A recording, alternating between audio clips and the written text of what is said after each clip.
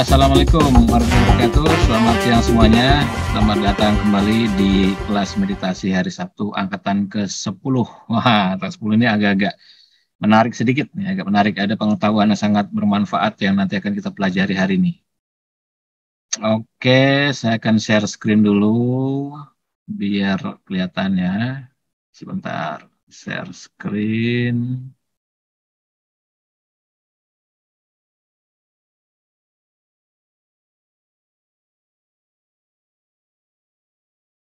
Iya, kita akan belajar mengenai resonansi individual dan resonansi komunal. Untuk resonansi individual ini, saya tidak akan bahas karena bisa dilihat di video saya. Jadi semua konsep yang berhubungan dengan apa namanya teori napas ritme itu adalah resonansi individual. Ketika kita meresonansikan napas kita dengan sistem syaraf otonom, syaraf simpatik, syaraf parasimpatik, ya kan menggunakan teori HRV. Jadi HRV itu adalah resonansi individualnya begitu. Istilahnya seperti itu. Kalau kita mau bicara resonansi komunal berarti kita harus bicara frekuensi di luar badan. Ya kan? Frekuensi yang ada di luar tubuh kita. Kalau kita bicara resonansi individual itu berarti kita bicara frekuensi yang ada di dalam tubuh kita. Nah, dari sebelah sistem pada tubuh manusia yang sering saya apa namanya diskusikan, saya bikinkan YouTube-nya segala macam, dari sebelah sistem yang kita pelajari pertama adalah sistem syaraf. Sistem syaraf yang kita pelajari lagi masuk ke dalamnya lagi adalah sistem syaraf otonom. Masuk ke dalamnya lagi ada syaraf simpatik, ada syaraf parasimpatik. Untuk mengetahui syaraf simpatik dan syaraf parasimpatik frekuensinya berapa, maka kita harus belok dulu belajarnya. Ya, ini kita belajar pada teori jantung. Nah, di situ tuh pelajarannya. Jadi kita geser dulu sedikit supaya kita ngerti syaraf, kita ngertiin jantung dulu. Karena di jantung itu ada sesuatu yang disebut dengan heart rate variability. Heart rate variability adalah jarak antara fluktuasi jarak antara dua detak dalam satu satuan waktu. Gitu. Jadi kalau misalnya satu menit, ya dua detak, dua detak, dua detak itu dihitung setiap detaknya dihitung. Maka istilahnya ada R to R atau N to N. Jadi puncak kalau di jantung itu apa namanya ada diistilahkan PQRSTU. Nah, QRS itu biasa diistilahkan sebagai R-nya itu puncak. Maka detak itu sering disebut sebagai berapa jumlah R-nya karena puncaknya. Jadi kayak logo WB ini yang ada di layarnya, logo WB ini ini ujung ini nih puncaknya nih. Nah, itu adalah R-nya. Itu adalah R-nya. Jadi QRS R-nya itu puncaknya. Jadi jumlah R itu adalah jumlah detaknya. Nah, jarak antara dua R dalam satu satuan waktu itu adalah heart rate variability atau fluktuasi detak jantung. Nah, ketika detak jantung dianalisa menggunakan fast Fourier transform atau FFT, algoritma fisika ya, fast Fourier transform, itu kemudian di, menjadi tiga jenis frekuensi. Dikategorikan jadi tiga jenis frekuensi. Yang pertama adalah very low frekuensi, kurang dari 0,04 Hz low frekuensi 0,04 sampai 0,15 Hz, high frekuensi 0,15 sampai 0,4 Hz. Nah, jadi belajarnya di situ. Jadi ketika kita udah tahu bahwa detak jantung itu dipecah menjadi tiga frekuensi, maka kemudian kita jadi ngerti tiga frekuensi ini, dua frekuensi dinisbatkan pada sistem syaraf. Ya, ini high frekuensi 0,15 sampai 0,4 Hz dinisbatkan pada syaraf parasimpatik, low frekuensi 0,04 sampai 0,15 Hz dinisbatkan pada syaraf simpatik. Nah, seperti itu. Jadi kita jadi tahu bahwa frekuensinya syaraf simpatik adalah antara 0,04 sampai 0,15 Hz. Sedang frekuensinya syaraf parasimpatik antara 0,15 sampai 0,4 Hz. Ini videonya bejibun di YouTube saya. Silakan dilihat teorinya untuk diulang kembali, untuk diingat kembali. Nah, ketika kita melakukan sebuah intervensi apa pun yang menghasilkan frekuensi yang berada pada range itu, maka kita sedang menstimulasi syaraf tertentu. Jadi kalau saya menghasilkan frekuensi 0,1 Hz, berarti saya sedang menstimulasi syaraf simpatik. Kalau saya menghasilkan frekuensi 0,2 Hz, berarti saya sedang menstimulasi syaraf parasimpatik. Dengan cara apa pun. Karena frekuensinya sama aja, mau dihasilkan dari napas, mau dihasilkan dari alat getar, mau dihasilkan dari suara gitu sama aja. Selama dia satuannya hertz, Jadi akan terpengaruh pada yang frekuensinya sama. Nah itu, jadi semua yang dilakukan pada ritme-ritme napas di dalam teori napas ritme adalah resonansi individual. Nah sekarang pertanyaannya bagaimana resonansi komunal kan begitu. Nah sekarang kita baru lihat. Semua sistem biologis di bumi terpapar pada lingkungan eksternal dan internal dari medan magnet tak terlihat yang berfluktuasi dari berbagai frekuensi. Jadi medan magnet nggak kelihatan. Makanya konsep frekuensi di napas ritme juga banyak sebagai sebagian orang yang apa sih ini, Wah, gitu kan? Ya karena nggak kelihatan, ya kan nggak kelihatan. Harus diukur dulu atau di, dimunculkan di layar dulu frekuensinya gitu kan, baik dalam bentuk angka, grafik maupun visual yang lain. Karena nggak kelihatan itu. Jadi ketika ada istilah medan magnet, ya mata telanjang kita nggak bisa melihat. Ya kan makanya harus perlu atau butuh bantuan alat untuk membuktikan keberadaannya. Ini kan goib, dalam tanda kutip ya. Ini adalah benda goib, frekuensi itu adalah benda goib, makhluk goib. Medan magnet juga makhluk goib, nggak kelihatan mata kan? Maka perlu alat untuk melihat. Yang jelas bahwa semua sistem biologis termasuk manusia terpapar oleh medan magnet yang tidak terlihat. Dan medan magnet bumi ini berfluktuasi dari berbagai frekuensi. Dan medan magnet ini dapat mempengaruhi hampir setiap sel dan sirkuit di tingkat yang lebih besar atau kecil. Banyak ritme fisiologis telah terbukti disinkronkan dengan aktivitas matahari dan ego magnetik. Jadi penelitian mengenai frekuensi tubuh manusia dengan apa namanya frekuensi gelombang elektromagnetik atau geomagnetik ini udah lama sekali. Gitu. Jadi artinya kita bisa menggunakan data-data ini sebagai menambah pengetahuan. Jika ada hal yang bermanfaat di sini, ya kenapa nggak kita ambil kan? Begitu. Mereka sudah meneliti mereka sudah tahu uh, frekuensi geomagnetiknya misalnya bumi geomagnetiknya laut geomagnetiknya gunung geomagnetiknya lembah geomagnetiknya tanah datar tanah yang rimbun tandus segala macam. Ini mereka sudah meneliti itu karena banyak apa namanya istilahnya banyak eh, pekerjaan-pekerjaan yang memang ada di wilayah itu misalnya kayak pengeboran gitu kan tambang minyak gas bumi dan sebagainya. Misalnya sebuah daerah yang kok gersang yang nggak ada pohonnya. Coba selidiki mungkin saja uh, di buminya itu di tanah di sekitar situ banyak magnet eh, banyak besinya banyak kandung besi sehingga pohon susah tumbuh. Jadi orang bisa memprediksi seperti itu dengan teknologi begitu. Oke nah termasuk manusia juga begitu. Orang kan berpikir Berarti kalau gitu kita sebagai makhluk hidup mesti pengaruh dong dengan gelombang elektromagnetik. Iya.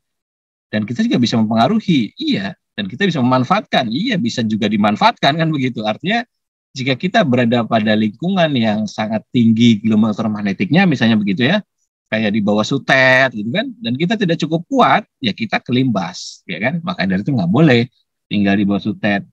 Karena khawatirnya tubuh kita makin lama makin ringkih kan. Sementara sutetnya kan namanya alat ya, makin lama ya, ya stabil aja kan, segitu-gitu aja kan. Nggak menua dia kan, karena besi, baja kan nggak menua. Sedangkan manusianya kan menua. Dia stres sedikit, selnya lemah. Dia kena stres banyak, selnya makin lemah kan begitu. Dan tidak mungkin orang setiap hari happy-happy terus gitu kan, pasti ada problem, ada masalah. Maka itu khawatiran pengaruhi, maka gelombang elektromagnetik tinggi itu nanti kita lihat akan pengaruhi pada tubuh. Oke, jadi intinya kita terpengaruh, dipengaruhi, atau mempengaruhi. Nah, kemudian ada istilah human resonance. Kira-kira tahun 90-50-an ya, 1950-an, ada ilmuwan namanya Schumann dan Koenig mengukur satu set frekuensi yang konsisten dengan model matematika yang memprediksi resonansi rongga ionosfer bumi. Nah, jadi seperti yang saya pernah posting di tulisan itu. Jadi bumi ada rongga gitu ya, kan masing-masing ada lapisannya, ada stratosfer, ada ionosfer dan sebagainya. Itu dipetakan, kemudian dicari frekuensi, frekuensinya dengan persoalan matematika. Lalu kemudian ilmuwan lain berusaha untuk membuktikan kebenaran dari frekuensi itu. Dan ternyata benar.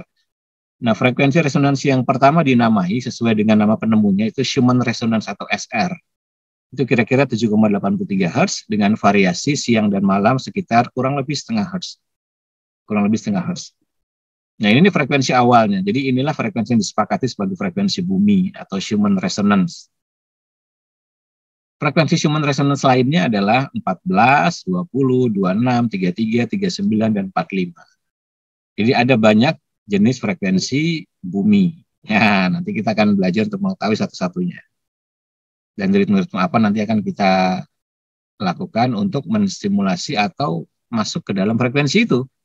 Ya kan? Jadi sekali lagi kalau kita bisa masuk pada sebuah frekuensi, maka hukum alam akan terjadi di situ. Hukum alam apa? Hukum alam resonansi. Ya kan? Orang bisa klik dengan orang lain, kenapa? Karena resonansinya sama kan gitu. Karena frekuensinya sama, maka mudah klik. Bahkan nggak ngomong pun ngerti, ya kan? Misalnya Mas Muksin malam Jumat sudah kedip-kedipin mata gitu kan. Nah, ya yang di sebelahnya udah ngerti kan maksudnya apa gitu kan. Sakit mata banget gitu, dikasihnya obat mata malah. Iya, berarti frekuensinya belum nyambung gitu. Frekuensinya belum nyambung kalau gitu malah dikasih obat mata. Iya. nah, jadi seperti itu. Orang ketika saling jatuh cinta misalnya kan, tidak ngomong pun dia ngerti karena yang berbicara itu frekuensi semua dan di dalam frekuensi itu dia memasukkan layer abstraksi, ya kan? Dia memasukkan imajinasinya, dia memasukkan niatnya, keinginannya dan sebagainya. Seperti itu. Tapi nggak dikasih buat mata gitu Mas Muksin ya. Oke. Okay.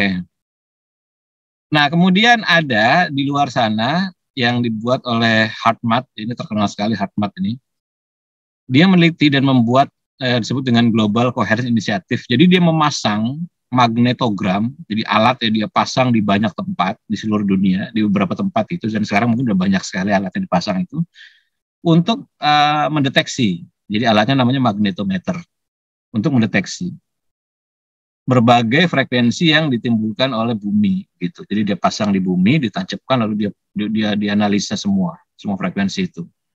Oke, dari 0,3 hingga 36 Hz dan hitung untuk setiap jam. Rata-rata pergerakan 20. Ini bisa kita lihat live. Nah, bisa lihat sini. Ada websitenya di bawah itu, di linknya saya kasih.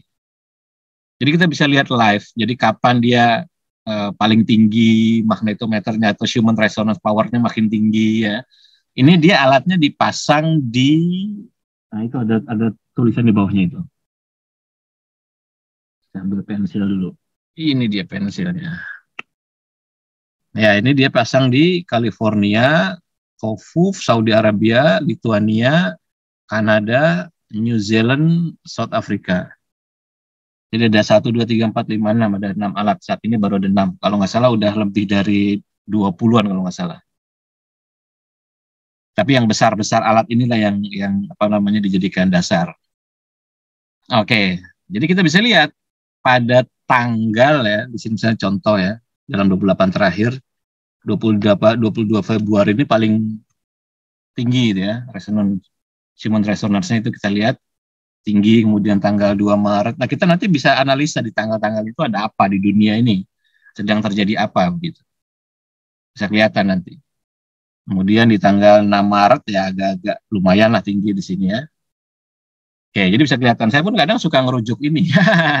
kalau orang-orang zaman dulu kan kalau pengen nyari tempat ya, kayak feng shui gitu kan misalnya untuk untuk latihan atau mungkin untuk eh, camping gitu ya atau untuk bertapa gitu kan biasanya pakai naluri kan. Nah, kalau sekarang kita bisa melihat dari data ini dari data ini yang mana yang paling tinggi. Tapi memang daerahnya nggak nggak nggak kelihatan. Tapi ada alatnya karena namanya magnetometer. Jadi kita bisa pakai alat yang sama untuk uh, melakukan deteksi terhadap sifat kemagnetan bumi yang paling besar yang ada di sekitar kita. Ya, mungkin di kamar kita sendiri. Dan alatnya nih ya tersedia begitu. alatnya tersedia nanti saya tunjukkan ya, saya tunjukkan. Nggak usah beli, alatnya nggak usah beli. tanggal 2 di Mekah ada. Ya nanti kita bisa analisa dari sini ya. Bisa analisa dari sini. Jadi tanggal-tanggal tertentu itu kenapa dia naik, kenapa dia turun. Oke ya. Kita lanjut. Ada juga yang disebut dengan spektrogram kalender. Spektrogram kalender itu menampilkan data dari detektor medan magnet yang digunakan oleh tim peneliti dari Global Coherent Initiative tadi untuk memantau resonansi yang terjadi dalam gelombang plasma yang terus-menerus mengelilingi bumi. Jadi mereka sudah pasang di alat-alatnya ya. Dan bisa dilihat di sini resonansi Schumann atau Schumann resonansi muncul sebagai garis horizontal pada 7,8 Hz, 14 Hz, 20 Hz, 26, 33, 39. Yang warna kuning itu yang paling intens. Ya. Warna kuning itu yang paling intens. Nah, jadi kita bisa lihat pada uh, GCI 006 itu berarti di South Africa ya. GCI 006 itu ini kan GCI 006 itu kan dia alat yang dipasang di South Africa. Di South Africa. Nah, kenapa di sana kok besar sekali kan gitu? Ya, itu bisa dianalisa nanti. Karena ini kan apa namanya berhubungan sama frekuensi magnetik bumi. Kenapa misalnya di daerah yang kayak GC001 California tidak begitu besar? Dibandingkan yang di Afrika. 003 mulai intensitas kuningnya agak-agak besar. 03 itu di Lituania. 02 ini di Saudi Arabia. Dan kita bisa lihat di tanggal-tanggal ini bisa digeser-geser tanggalnya jadi tanggalnya bisa digeser-geser. Jadi bisa kelihatan di sini kita bisa pilih spesifik tanggal yang mana begitu. Nah, di sini. Pilih spesifik tanggal yang mana. Nanti bisa ketahuan. Ada gunanya enggak? Iya, kalau buat saya kadang-kadang ada gunanya begitu. Ketika untuk melakukan riset, begitu mengetahui apa perkembangan apa yang lagi rame gitu kan ketika seseorang itu berpikir seseorang itu me, apa istilahnya mengkondisikan untuk uh, ber, berhasrat begitu ingin begini atau kebencian atau rasa cinta kasih ini kan semua energi semua yang keluar kan. Kalau banyak banyak orang di dunia melakukan itu, nah ini hasilnya mesti akan beda. Riset ini juga dia meneliti untuk data-data human resonance pada COVID-19 di belahan dunia. Kemudian pada saat waktu itu eh, apa sih yang tabrakan pesawat itu ke di Amerika waktu itu tuh Nah, mereka pun meneliti itu. Jadi apa yang terjadi beberapa hari sebelumnya ketika WTC itu ditabrak sama pesawat, dibom. Ini ada semua di sini datanya. Kita tinggal nyari korelasi dengan berbagai kejadian penting yang ada di dunia. Nah, itu. Nah, kita lihat di sini. Jadi memang sudah banyak penelitiannya ya untuk memperbandingkan gitu ya antara uh, gelombang elektromagnetik Nah ini gelombang magnetik, kemudian geomagnetik, dan heart rate variability. Nah itu makanya saya sering bilang heart rate variability itu kalau dipahami dengan baik, aplikasinya bisa panjang sekali, bisa ke mana-mana, luas sekali. Luas sekali. Jadi orang meneliti hubungan antara pengaruh antara electromagnetic field, medan elektromagnetik bumi gitu ya, kemudian geomagnetic pulsation, kemudian kardiologi atau heart rate variability. Dan selama patokannya pada angka-angka frekuensi, ya udah itu sama aja kan. Pokoknya frekuensi yang dihasilkan dari geomagnetik, frekuensi yang dihasilkan dari elektromagnetik, atau frekuensi yang dihasilkan dari heart rate variability, ya sama aja. Sama aja, karena selama satuannya hertz, ya begitu. Ya ini nggak usah dipusingkan. Yang jelas ini ada korelasinya. Nah kita lihat di sini. Di antara heart rate variability, VLF, very low frequency, LF, low frequency, dan HF high frekuensi yang paling besar pengaruhnya terhadap geomagnetik adalah very low frequency atau VLF. Nah, very low frequency atau VLF. Oke. Sini juga kelihatan. Kalau TF nih total power. Gampangnya begitu. TF itu gampangnya adalah dipahami sebagai total power. ULF, ultra low frekuensi. Tadi kan heart rate variability kan dia ada tiga kan, ada high frequency, low frequency, dan very low frequency. Kenapa ada ultra low? Ultra low hanya pembagian dari very low saja. Kalau di kebanyakan jurnal, very low frekuensi itu hanya disebut kurang dari 0,04 Hz. Gitu aja, kurang dari 0,04 Hz. Nah kemudian sebagian jurnal memecah lagi very low frekuensi menjadi VLF dan ULF, very low frekuensi dan ultra low frekuensi. Jadi ultra low frekuensi itu antara 0,003 sampai 0,04 lebih ini lagi. Bisakah dicapai dengan napas? Bisa iya, bisa tidak. Nanti kita akan lihat.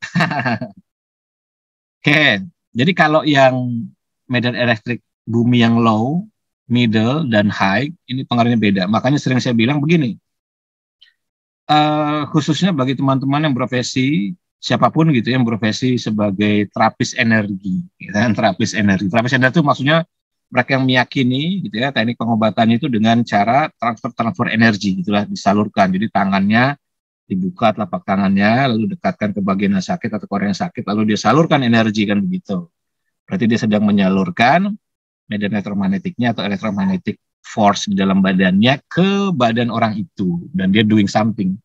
Hanya problemnya adalah area dia di situ itu apa namanya medan elektromagnetiknya apa gitu. Low, middle atau high. Kenapa? Karena ini terkait pada, kita lihat sini, total power. TF ini adalah, saya kasih warna merah, TF total power. Kemudian saya kasih warna ungu, ultra low frekuensi. Saya kasih warna orange, very low frekuensi. Nah, bisa lihat, ini kan besaran dari angka-angkanya kan jadi kalau misalnya, misalnya ya, total powernya kecil misalnya, total powernya kecil, katakanlah hanya ratusan gitu ya, mungkin di bawah seribu, lalu dia berprofesi sebagai terapis energi, ya kemudian dia transfer transfer energinya dia gitu kan, ya lama-lama defisit dan dia sedang berada pada uh, daerah yang medan elektromagnetiknya tinggi. Apa yang terjadi? Ya dia akan defisit, dia akan defisit ya kan? Ya, itu bahaya sekali kan? Nah, seperti itu. Nah, ini nih yang sering terjadi, sering terjadi pada mereka yang melakukan itu. Gitu. Nah, ini yang saya agak ngeri di situ. Maka total powernya harus tinggi dulu. Kemudian respon terhadap low frekuensinya harus bagus. Respon terhadap very frekuensinya harus bagus. Oke, kalau enggak, ya agak-agak repot gitu kan. Kalau misalnya SDNN-nya kurang atau HRV-nya kurang dari 50, kemudian profesinya dia sebagai terapis-terapis energi gitu ya, dan dia berada di pada di, di area yang kebetulan lingkungannya pada saat itu di wilayah di tempat pasiennya atau di tempat praktek dia memiliki elektromagnetik tinggi, iya siap-siap aja dia akan defisit terus-menerus jika dia tidak mengerti cara untuk recharge-nya gitu. Oke. Kemudian ilmuwan melihat hubungan potensial antara gelombang frekuensi rendah, value frekuensi. Jadi ULF atau VLF ini kita samakan saja karena dia kurang dari 0,04 Hz ya. Nah, di sini kita bisa lihat sumber paling umum dari gelombang frekuensi adalah resonansi elektromagnetik. Jadi ini dia adalah Nah, jadi untuk mempengaruhi gelombang elektromagnetik atau untuk beresonansi dengan geomagnetik, gampangnya begitu, kita harus masuk pada frekuensi ultra rendah. Nah, itu yang kemarin di video terakhir ya, mengenai analisa rangkaian ritme 33, 55, 10, 10, 15, itu saya jelaskan kenapa harus VLF gitu kan. Karena selama ini kan kita hanya bicara HF, LF gitu ya. Kita tidak pernah bicara mengenai very low. Ya memang ya ini ada materi terpisah gitu, tidak bisa disatukan. Karena ini berhubungan sama gelombang elektromagnetik bumi. Jadi untuk mengaruhi gelombang elektromagnetik bumi atau agar kita terpengaruh atau agar frekuensi kita bersinggungan dengan itu, maka tubuh kita harus mampu masuk pada frekuensi ultra rendah. Seru ya? Oke. Nah, jadi lagi-lagi ultra rendah. Nah, ultra rendah itu apa ya? Ultra rendah itu nanti kita lihat. Dan paling enggak antara 10 sampai 17 menit lah. Gampangnya begitu paling nggak antara 10 sampai 17 menit uh, baru kita bisa masuk ke frekuensi itu. Jelas gitu. Disebutkan jenuh dengan jelas. Jadi kalau kita lihat di sini misalnya ini saya copy linknya ya, kemudian saya paste.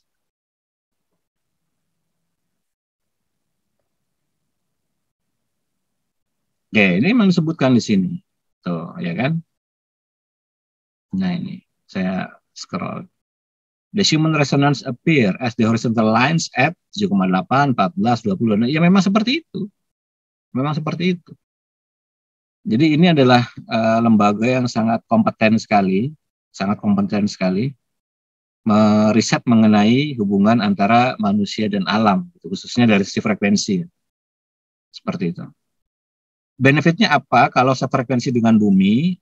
Nah, ini pertanyaan bagus. Jadi kita bisa lihat di sini, ketika misalnya ada rendahnya gelombang elektromagnetik gitu kan atau kita berada di wilayah yang eh, gelombang elektromagnetiknya itu tinggi gitu kan maka artinya apa? Ya kita harus doing something gitu.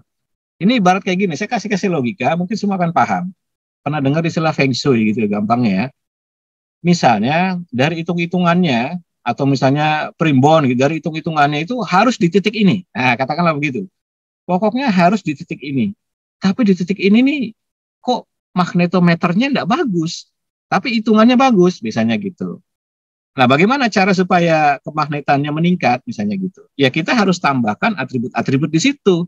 Makanya kadang ada ruang tamu atau rumah yang dipasang empat pasak, dipasang besi, dipasang mungkin pohon-pohonan, dipasang kayak danau-danau kecil gitu ya, atau akuarium kecil, ada ada unsur airnya, ada unsur tanahnya, ada unsur apinya macam-macam untuk menyeimbangkan keseimbangan energi yang ada di situ. Jadi itu logis sekali sebetulnya. Kenapa? Karena secara hitungan keberuntungannya versi yang meyakini ya, keberuntungan versi yang meyakini adalah titik ini. Sedangkan begitu dicek secara sains, kok titiknya gersang sekali gitu. Makanya dia harus tambah-tambahkan itu sesuatu di situ. Nah itu kalau dari sisi tata letak. Dari sisi kita bagaimana kalau kita nggak ada pilihan tinggal di situ ya, ya kita harus rutin untuk melakukan evaluasi kan, makan latihan sampai kita terbiasa. Sama kayak misalnya kita nggak ada pilihan tinggal di daerah Bantar Gebang misalnya gitu, contoh saja.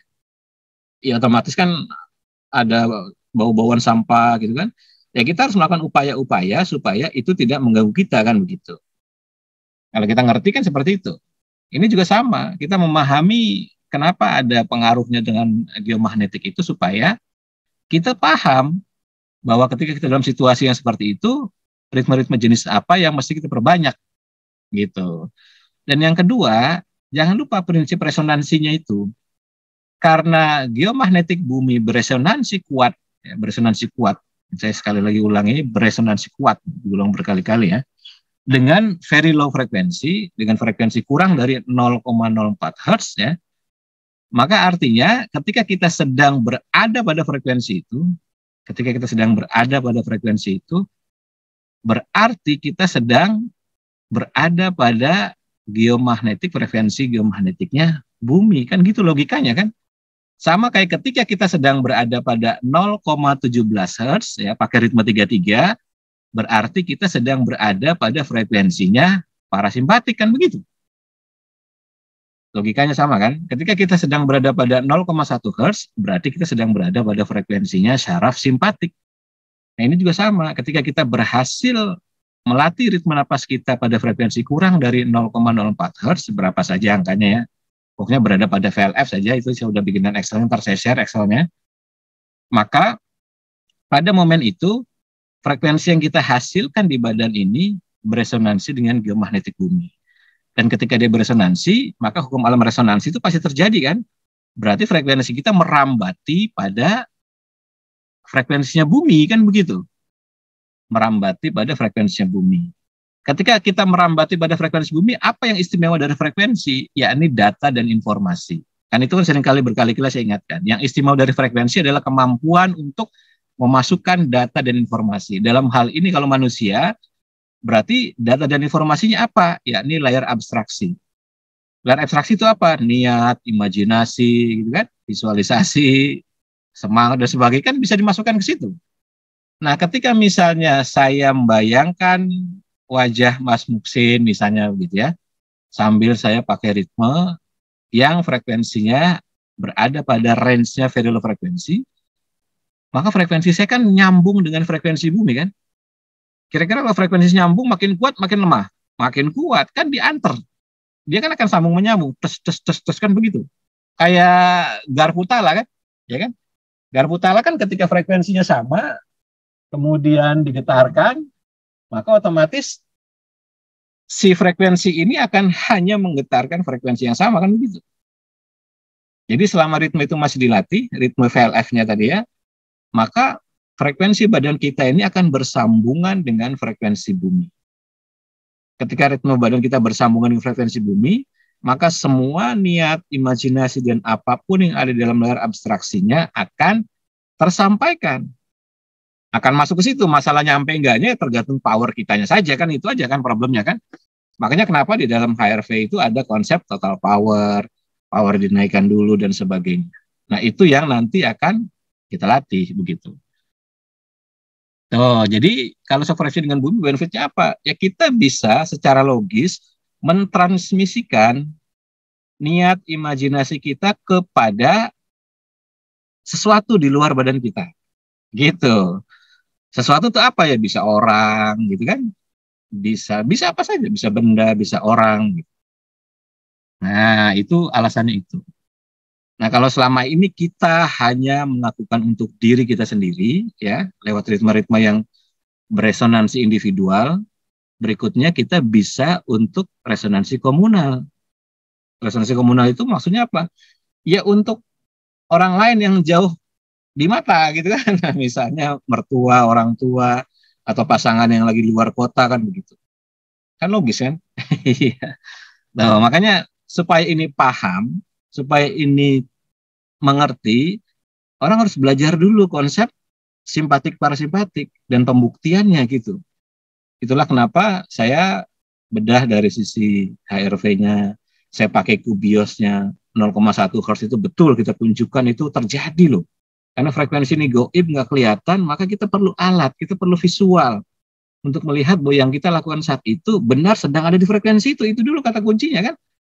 Kalau dia bisa membuktikan bahwa 0,1 Hz dengan ritme 55-nya terbukti secara kaidah sains gitu, dengan alat-alat yang standar jurnal, maka ini jadi gampang.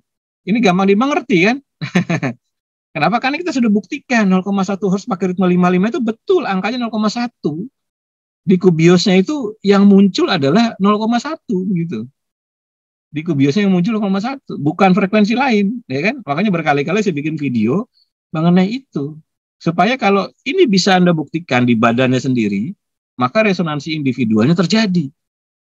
Kalau ini bisa diulang berkali-kali dan tepat, katakanlah begitu, dan tepat, ya udah memahami ini gampang sekali kan. Ini hanya merubah, oke okay, berarti yang saya pakai adalah VLF. Berarti kemudian saya ulangi dulu pembuktiannya.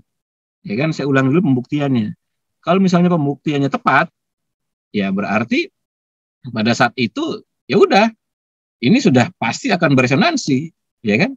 Karena ketika kita pakai VLF, pakai HF dan sebagainya, itu juga terbukti. Nah, kayak ini contohnya di depan ya. Ya, ini kan VLF-nya kan kelihatan, angkanya VLF-nya kelihatannya. Ini saya VLF-nya itu ada di posisi eh, mana tadi itu sampai oh di sini nih. Ya, kurang lebih di sini lah. Oke. Nah, ini kelihatannya power VLF-nya ini kan 300-an kan? Tinggi, iya tinggi. Karena kita memang sedang berada pada ritme 15-15. Ini yang contoh yang uh, video kemarin 33, 55, 10, 10, 15, 15 itu. Di ritme 15-15, dia VLF-nya tinggi. Karena ritme variable frekuensi itu akan menghasilkan frekuensi VLF ini. Sedangkan kalau kita geser ke sini, ya, kita ambil di tiga tiga, berarti di tiga menit pertama ya, kurang lebih di sini lah. Ini kecil sekali kan? Ya kan, VLF-nya kecil sekali kan? Hanya 9 koma saja kan? Hanya 9 koma. Yang gede adalah HF-nya. Ini kelihatan HF-nya 2400-an sekian. HF-nya gede berarti pada saat itu yang lagi dominan frekuensinya adalah parasimpatik jelas. Kita tinggal lihat amplitudonya saja kan. Amplitudonya itu dia berada pada di sini 0,17 Hz karena kita sedang pakai ritme 33. Oh ini ada yang naik juga. Iya enggak masalah maupun yang naik berapapun ini kan tetap parasimpatik kan. Nah, karena yang biru itu kan parasimpatik, bukan simpatik. Jadi artinya ritme 33 terbukti bahwa frekuensi yang bekerja pada satu di badan adalah parasimpatik. Maka yang beresonansi di badan kita pada saat itu adalah semua sel yang frekuensinya berada pada frekuensi parasimpatik. Sel apa saja tinggal nanti dicari saja rujukan jurnalnya kan begitu. Ya. Nah, sedangkan kalau pada contoh uh, eh, VLF-nya, tarik lagi sini, saya geser lagi.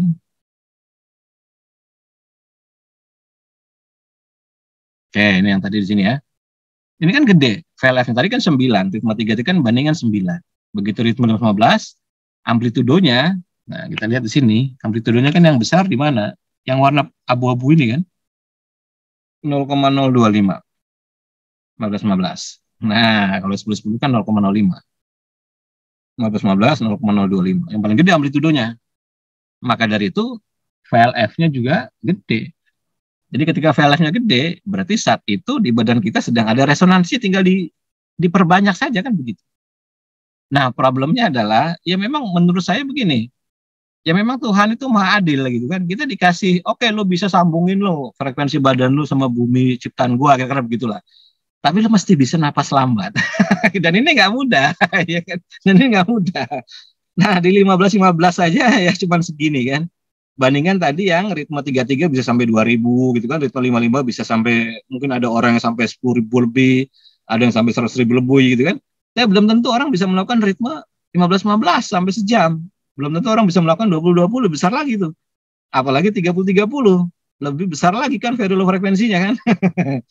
Tapi kan nggak gampang. Nah itulah kenapa dulu saya sering bilang, ayo cobalah sesekali latihanlah sampai ritme 30-30. Seperti itu. Kalau saya selalu rutin, seminggu paling nggak saya tiga kali tuh ritme 30-30 satu jam tuh ya wajib untuk diri saya. Kenapa? Karena saya kenali betul rasanya di badan ini ketika nyambung dengan frekuensi bumi. Itu ada sensasinya. Sama kayak kita ritme 33. Kita kan semua sudah merasakan dan membuktikan. Ketika ritme 33, hiperventilasi, atau ritme 22, atau ritme 22 setengah, ada sensasi pada badan kan, seperti kesemutan, istilah Mas Muksin semut-semutnya kan banyak gitu kan. ada ada ya ada sensasi lah. Ritme 30 juga begitu gitu. Iya. Oke, seperti itu. you